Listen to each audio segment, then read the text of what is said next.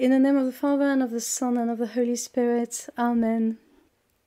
Come, Holy Spirit, fill the hearts of your faithful, and kindle in them the fire of your love. Send forth your Spirit, and they shall be created, and you shall renew the face of the earth.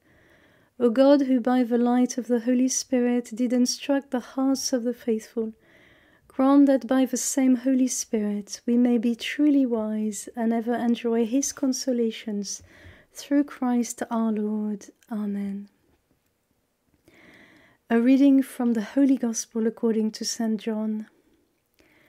The Jews were complaining to each other about Jesus because he had said, I am the bread that came down from heaven. Surely this is Jesus, son of Joseph, they said. We know his father and mother. How can he now say, I have come down from heaven? Jesus said in reply, Stop complaining to each other. No one can come to me unless he is drawn by the Father who sent me, and I will raise him up on the last day. It is written in the prophets, They will all be taught by God, and to hear the teaching of the Father and learn from it is to come to me. Not that anybody has seen the Father except the one who comes from God. He has seen the Father. I tell you most solemnly, everybody who believes has eternal life. I am the bread of life. Your fathers ate manna in the desert and they are dead. But this is the bread that comes down from heaven, so that a man may eat it and not die. I am the living bread which has come down from heaven. Anyone who eats this bread will live forever, and the bread that I shall give is my flesh for the life of the world. We follow on from what Sister Karina explained last, week, so you, you, you, you must be very familiar with the context of this gospel. But just as a recap, we're in Capernaum, so we've crossed the sea there and back. We've had the multiplication of the loaves on the other side. Jesus is now back on the other side. They they ask him, you know, how did you get there? And Jesus says to them, you know, you follow me because you've had bread. Um, and so it's still shortly before the Passover. So all these discourses in the context of the Paschal offering of Jesus, who, who is, remember that the institution of the Eucharist takes place uh, during the Passover meal. And here the discourse of the bread of life takes place shortly before the Passover. So this is the context, the offering of the Lamb, the one who offers himself. Uh, the this is very important because the the concept of you know Jesus as bread of life who reveals himself to be the bread of life, is inseparable from the Paschal mystery. These two sort of elements are indissociable, they're inseparable. The, the, the Eucharist is the Paschal sacrifice. So it's one and the same reality which is offered to us in a way that we can take it. So the Passover is the context for the bread of life. And Jesus teaches the people who question him. It begins with a complaint uh, from from the Jews here, who who are really called that way by John, but really that means the Pharisees, the people who know their religion, the people who have already pondered the scripture and can see, hang on, this man can't be who he says he is because we know his father and mother. We know all about him, and the one we're expecting we won't know.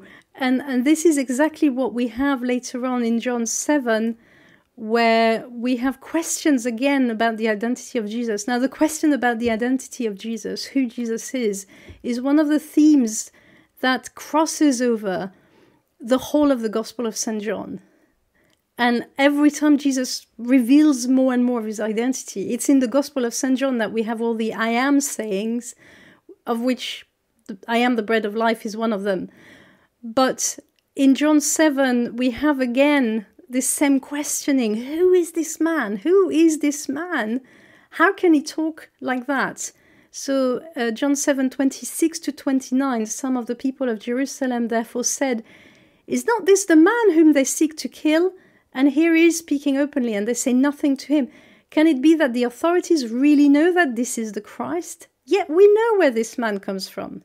And when the Christ appears, no one will know where he comes from. So there is something about the identity of Jesus.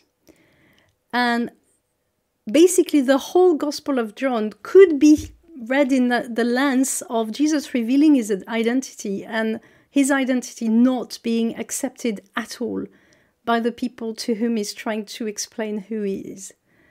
And in fact, it, it, begins with the revelation of, of the Word. In the beginning was the Word. This is the identity of, of Christ and, and the Word being rejected. So we have again and again, so in, in John 1, the Word of God, and then the Lamb of God through the mouth of John the Baptist, now the bread of life. And all these identities are being rejected one after the other until he is led to the cross. So the Jews are really, it's not derogatory in any way, but it's to, to tell us these are the learned people, these are the people who know their religion, are faithful to their religion. And in a way, it's us as well, uh, who, who have particular ideas about God and how God should behave, what God should do, and what kind of God we expect to have and here Jesus completely breaks down every expectation, any anticipation, any presupposition about God. So this is the discourse of the bread of life especially is one of the most shocking discourses that Jesus gives. And it's it should be as shocking to us as it was then to the people who listened to him. Because what sort of a human person says, I am the bread of life? I am the bread of life.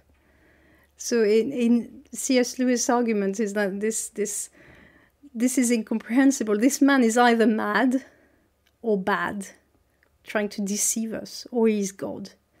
There's no middle way. There's no other way that this discourse could be taken. But here is the point that when we put our faith in Him, when we start taking His word seriously and accepting what He says of Himself and accepting the gift that He gives to us, this is the way to eternal life. This is what He tells us. So now He gives everything, and it's up to us to respond. And here is the, the whole movement of the gospel for tonight, if you want this offer very plainly spoken, uh, which is for our consideration and which hangs there waiting for our response. But in the gospel, we begin actually with a response already given, again on the on the back of those presupposition and those anticipation of who God is and what He should be doing according to our standards and it begins with complaints. We begin with the people complaining. The Jews were complaining to each other about Jesus because he had said, I am the bread that came down from heaven. And then they bring out what they know. And on the basis of what they know, they refuse what is being told to them. We know his father and mother. How can he now say, I have come down from heaven? And this complaining is the context for this passage tonight, which is a, a chunk of the of the discourse uh, of the bread of life. And this complaining is something we, we can be very familiar with. We're familiar with it from the scripture themselves because complaining is one of the major issues, the major problem, the major obstacles that we meet in the desert during the Exodus, during the wandering in the desert of the people of Israel, they start complaining practically the moment they set off. The first time they complain, well, and they have always very, very good reason to complain. They're in a desert, they're pursued by Pharaoh, there's a sea in front of them. You know, you have let us here to die. because in human reckoning, their situation is literally impossible. And then they're being saved by crossing the Red Sea. And the moment they step ashore, they start complaining because they have no food, they have no drink. And so the whole of the Pentateuch is taken quite significantly with some of the biggest complaints. The murmuring, and it's the same word, murmuring, It's, is the word that actually is used in Greek by John. And it's in Hebrew, this same word, murmuring, in Exodus. The whole congregation of the people of Israel murmured against Moses and Aaron in the wilderness and said to them, Would that we have died in the hand of the Lord. And so you see the parallel between the murmuring of the Jews with Jesus here in Capernaum and the murmuring in the desert because it's the same context of being fed by God. They have just been fed miraculously by Jesus, but they complain. Here they, they complain before being fed, but they, they, you know, this same attitude of, huh, at this point there is nothing God can do for us, or whatever this man says is unacceptable. So we will refuse. The response is already given before the gift is even considered. And, and this is an attitude we find in ourselves a lot. Uh, I find that attitude in myself a lot. That I know better and I expect God to give me what I need according to my standards on my terms. And really, the Lord keeps sending us all sorts of signs, really, in the context of the John's Gospel. We can consider them as that in our life to stretch our mind and hearts, to open us to accepting salvation his salvation, His gift of eternal life, His gift of love, not on our terms, but on His terms. And for us, it's a very, very difficult stretch.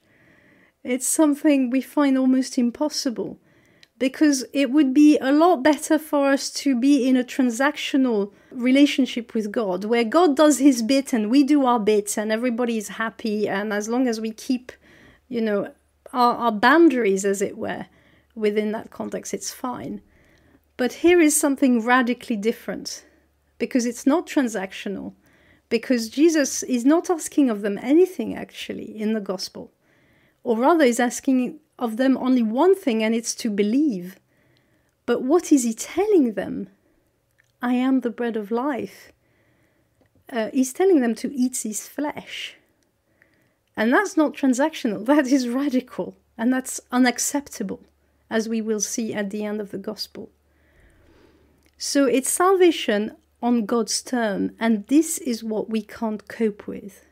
First of all, the first complaint is this is not the man we want. We know his father and mother, so he can't be the man we're expecting. He can't be the Messiah. We know exactly what the Messiah should look like, and this guy is not it. So we complain. The second complaint is it's not the bread we want. And we've seen that really what they're looking for from the previous chunk in the gospel is physical bread. It's the bread that feeds you for a minute and keeps you going for a day, uh, and of which you have to, you know, get more. It's physical food. And we saw that in John 6:25 to 40 when Jesus answered them, Truly, truly, I say to you, you seek me not because you saw signs, but because you ate your fill of the loaves. You get what you want. You get what you want on your own terms in your own horizon because for you the most important thing is to fill your belly, is to have your comfort, is to have the things that you think are important. And you're not actually interested in the signs that I give you to stretch you to open your desire to what to what I consider is important, which is your eternal life, which you don't really think of at all at this point because you're only thinking of your belly.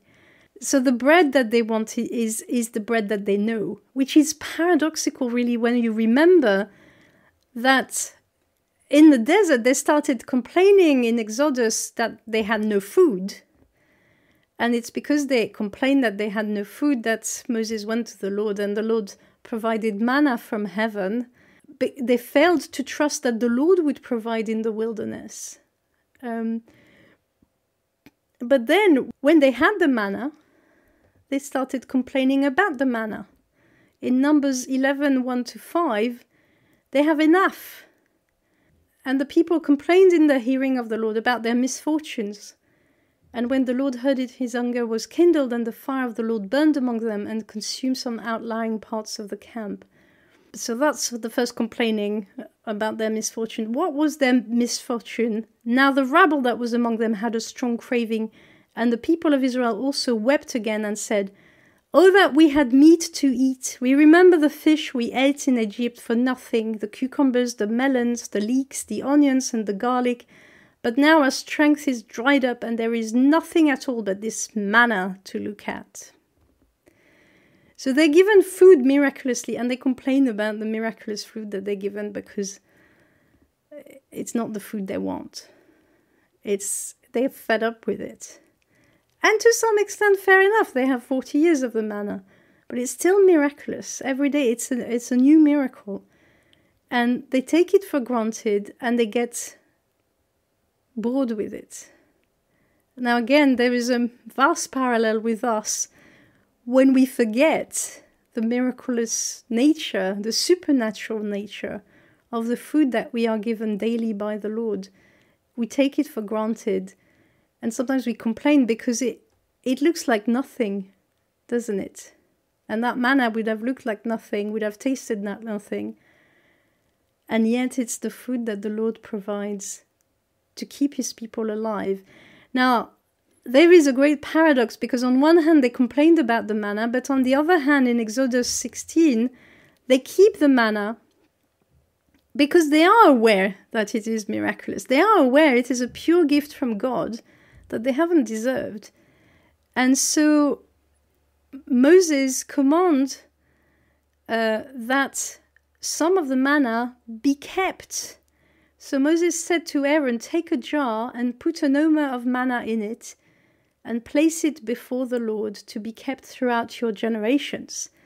And in fact, in the Ark of the Covenant that was carried in the desert and then placed in the temple, the temple of David, Within the ark was kept not only the tables of the law, but this manna.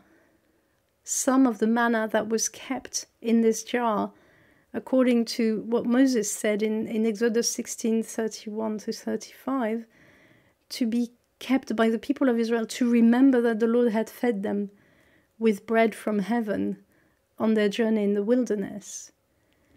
And as well was kept the rod of Aaron now Jesus is offering a new manna, a, a different bread, a bread that is eaten and gives eternal life. Your fathers ate manna in the desert and they are dead. But this is the bread that comes down from heaven so that a man may eat it and not die.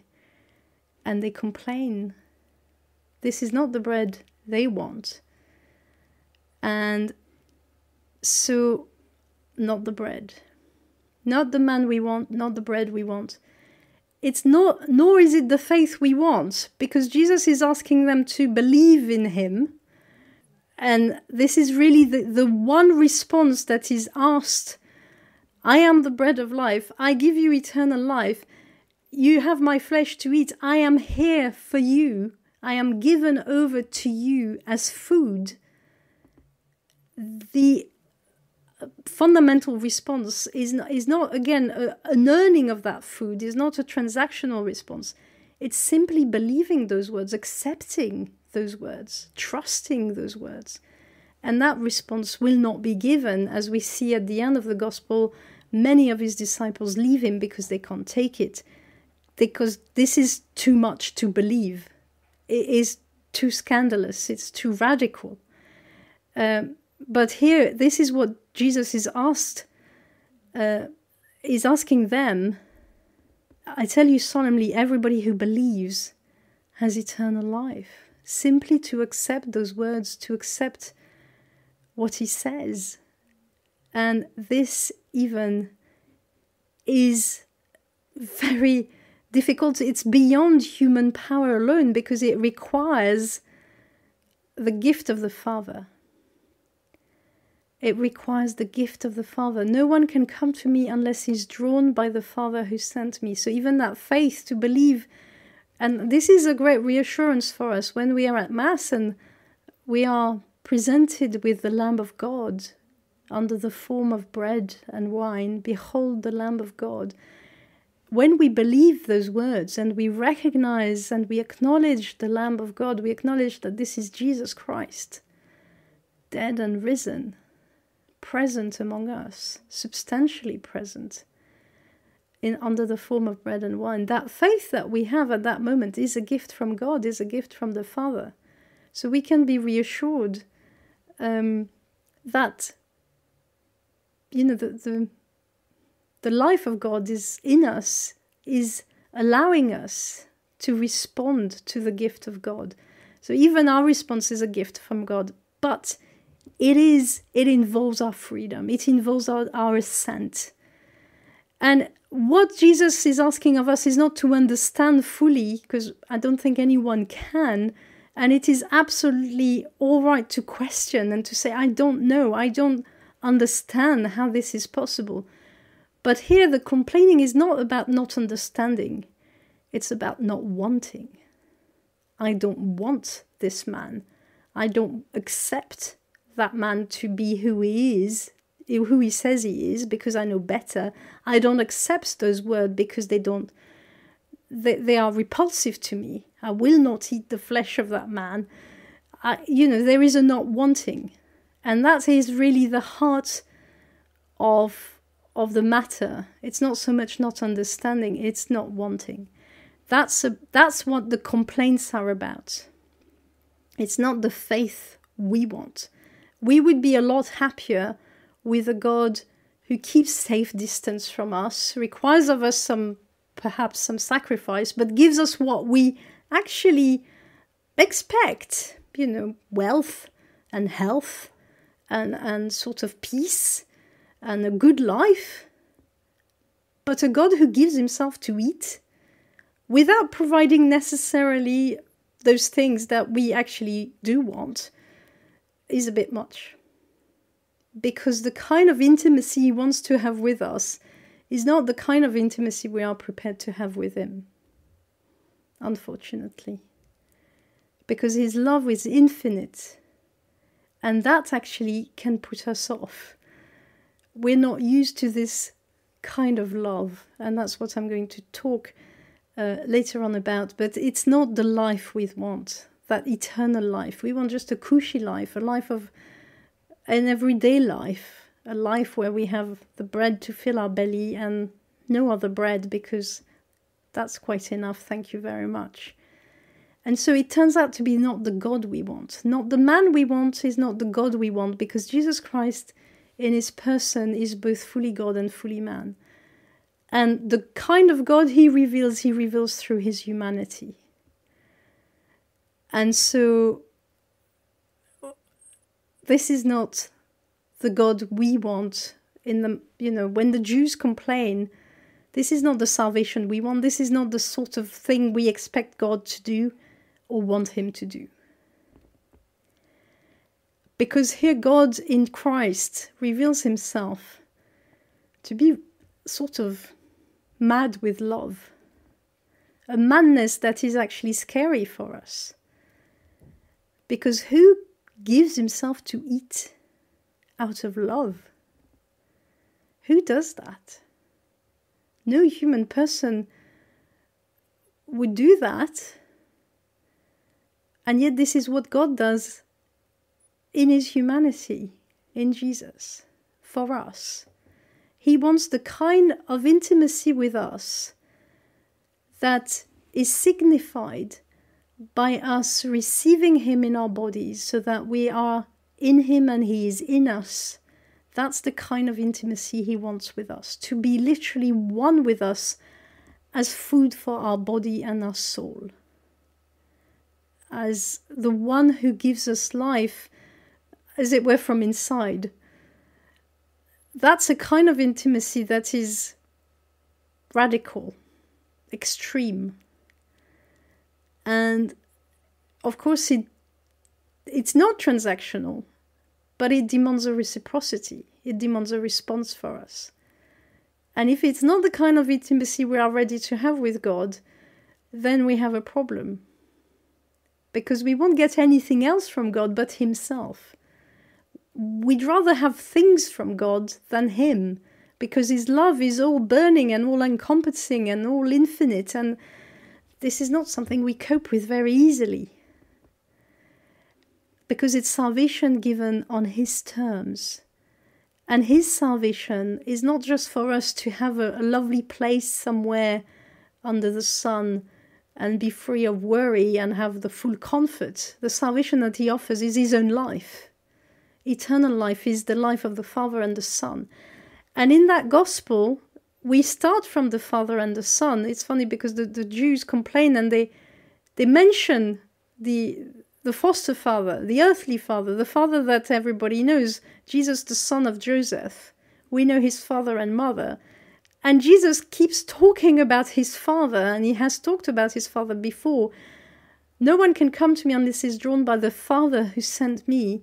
So Jesus is, is leading them to another kind of relation, and is putting the starting point of every one of his discourse really in St. John in his own relationship with the Father. The Father and the Son, that's how Jesus reveals God who to be, the Father and the Son.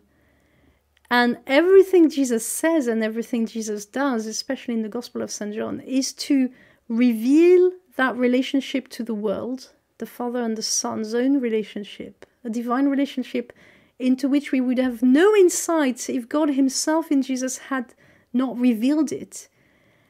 And not only to reveal it as something, as the ultimate truth of everything that is, that God is Father and Son and Holy Spirit, but that there's a God who is a personal relationship, and to open that relationship to us. Again, it's it's a radical gift. It's extreme and, you know, we tend to, in our physical, material anxieties and, and in our narrowness of heart and mind, we tend to have a, a lot lower expectations for ourselves. We look forward to the weekend, we look forward to having a good time. We don't necessarily look to having a burning relationship of, of love with the Father, the Son, and the Holy Spirit. But this is what God offers us.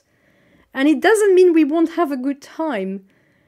It means, in fact, we'll have a better time than anything we can imagine. But because it's beyond the sort of the limitations of our little love, it looks very, very scary to us.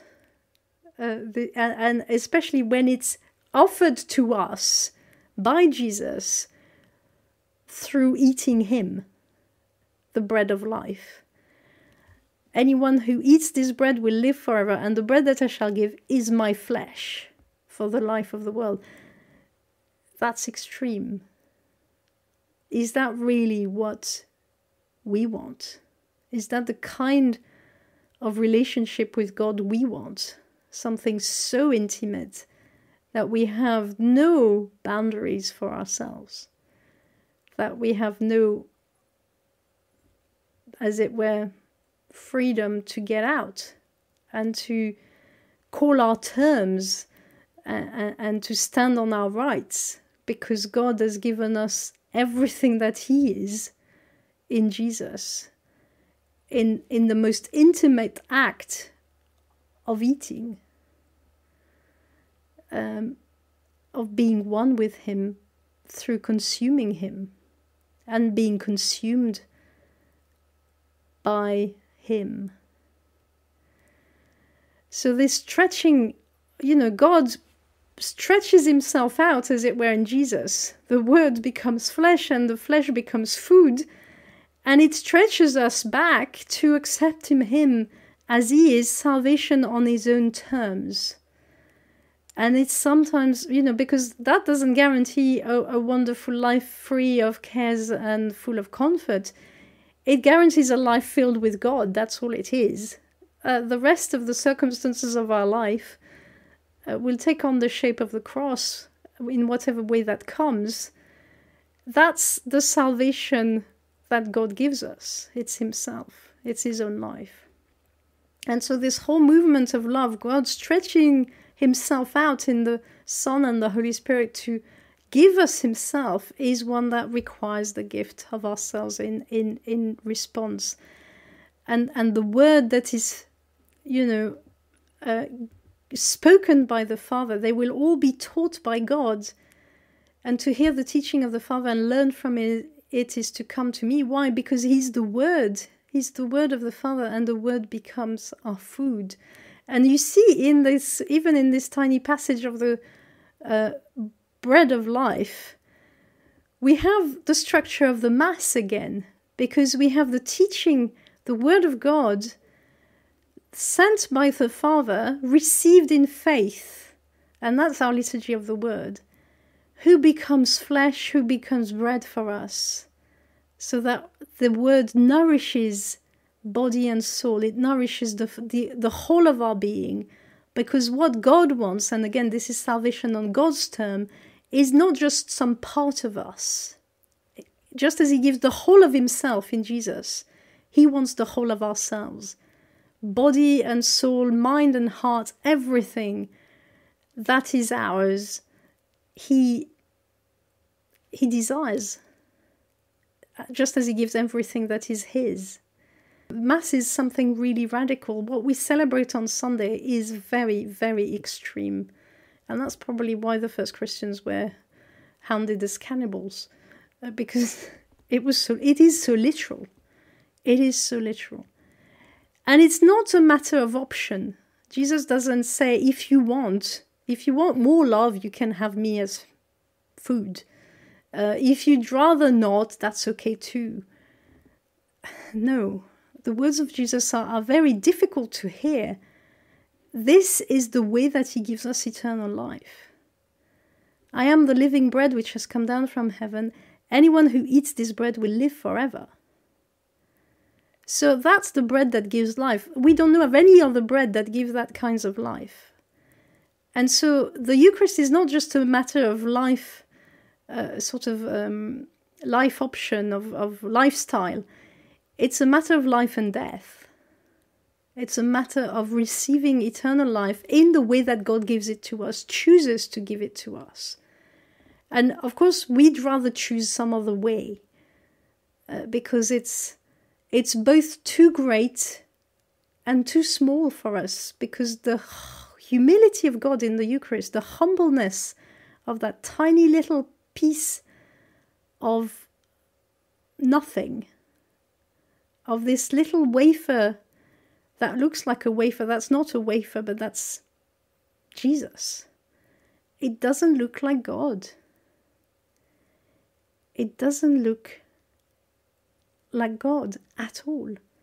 And it's actually scandalous. And that's why in our liturgy we try to put our faith invisibility, as it were. Everything about the liturgy is a language to speak of the reality of what's happening. Because, in and of itself, the bread and the wine that are transformed into the body and blood of Christ still look like bread and wine, and without all the liturgical celebration, we could easily forget, and in fact, we do forget.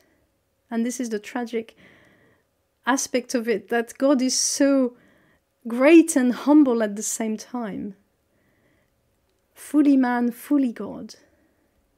Unrecognizable as God among men, and this is where the Jews complain, is this, this we know his father and mother, unrecognizable as God among bread. Uh, because an unconsecrated host looks just like a consecrated one. And that's the humility of God who comes to be with us where we are as we are with the food that we have. And that is as unacceptable to us as the radical love that gives everything that He is. That He, he gives everything, everything that He is in one single host. The whole fullness of God, because God is indivisible. And that's why we, we are very careful to consume every particle of the Eucharist, not to let any drop to the floor be lost, because every single tiny piece of the Eucharist is Jesus, whole and entire, who gives himself. Jesus doesn't parcel himself out, he cannot divide himself. So it's the whole of him. And again, this is something unacceptable in many, many ways at many different levels for us. But this is salvation on God's terms. This is how uh, infinite God's love is. And this infinity of God's love is manifested, manifested concretely in the Eucharist.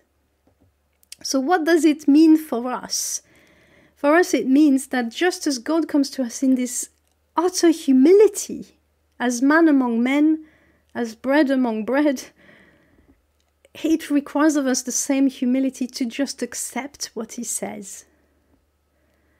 Uh, and that's very difficult to just take it and accept it on his terms and on the terms of the church because we're not we none of us on our own has the authority to decide how and when and under what circumstances God should give himself to us.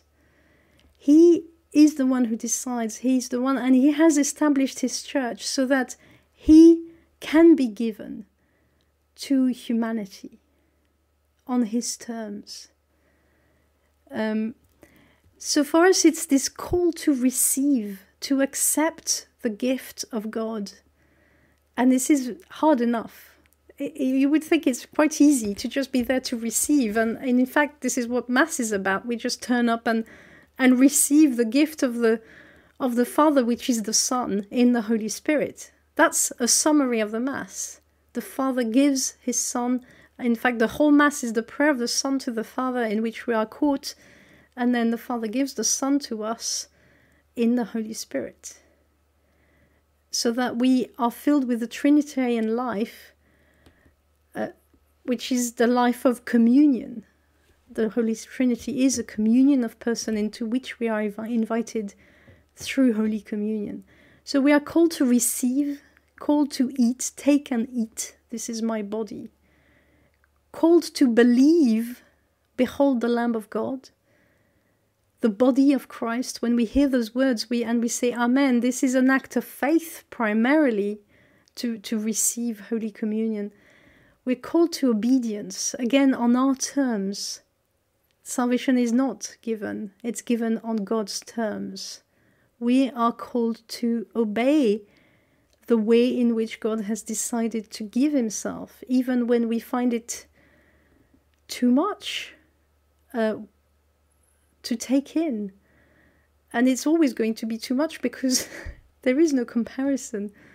There is no point at which all the all the human aspects of the liturgy that we participate in and and, and sort of try to to, to um, sort of humanly arrange will match the greatness of the gift that is given during the liturgy.